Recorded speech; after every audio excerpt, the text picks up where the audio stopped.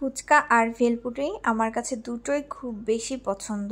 কিন্তু ফুচকা আর ভেলপুরির সাথে, এই মামার ভেলপুরির সাথে কম্পেয়ার করা একদমই চলবে না।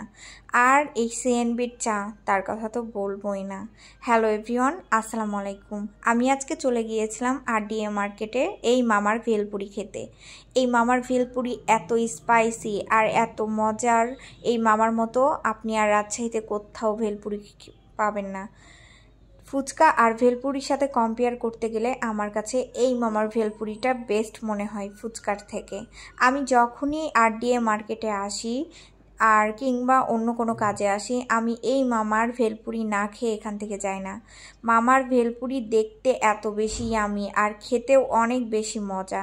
আপনারা রাজশাহী আরডিএ মার্কেটের ওভার ব্রিজের পাশেই পেয়ে যাবেন এই মামার ভেলপুরি।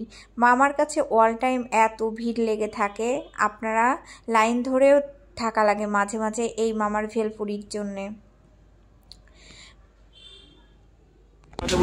মামা কতদিন থেকে এটা বিক্রি করছেন এটা বলুন। সতেরো বছর থেকে বেশি সতেরো বছর। দুটা থেকে শুরু করেছি এখন ছয়টা পিস বেশি আমি এই মামার কাছে প্রায় পাঁচ, ছয় বছর থেকে ভেলপুরি খাই। তো আমি যখনই এখানে শপিং করতে আসি কিংবা মার্কেটে কোনো কাজ করতে আসি, অন্য কোনো কাজে আসি, এই পাশ দিয়ে গেলেও আমি মামার কাছে এই ভেলপুরি খাই।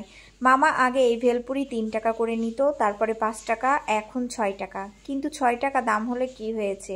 এই মামার ভেলপুরি এত বেশি স্পাইসি দেখতে এত বেশি আমি আপনি রাজশাহী যেখানেই খাবেন না কেন এই মামার ভেলপুরি বেস্ট সব থেকে আর আরও স্পাইসি করার জন্য মামা ওপরে যে মশলাটা দেয় এটা এত মজা খেতে। আপনারা যদি চান তাহলে এখানে এসে ভেলপুরি ট্রাই করে দেখতে পারেন যারা যারা রাজশাহীতে আসেন। আমি এই আপুর থেকে জিজ্ঞাসা করছিলাম তার কাছে আপু আপনারা এখানে কতদিন থেকে দাম বেশি হয়ে গেছে বলেন। বলেন কাগজ তেল হাত মুছেন বলেন দামটা বেশি হয়ে গেছে। আপনার এখানে ভেলপুরি খেতে কেমন লাগে? বলেন কটা? তাই তো বারবার আসি ও চা।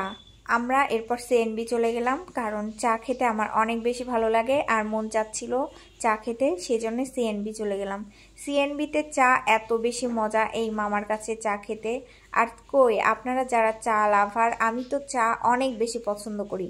আমার মনে হয় প্রতিদিন চা ছাড়া চলেই না।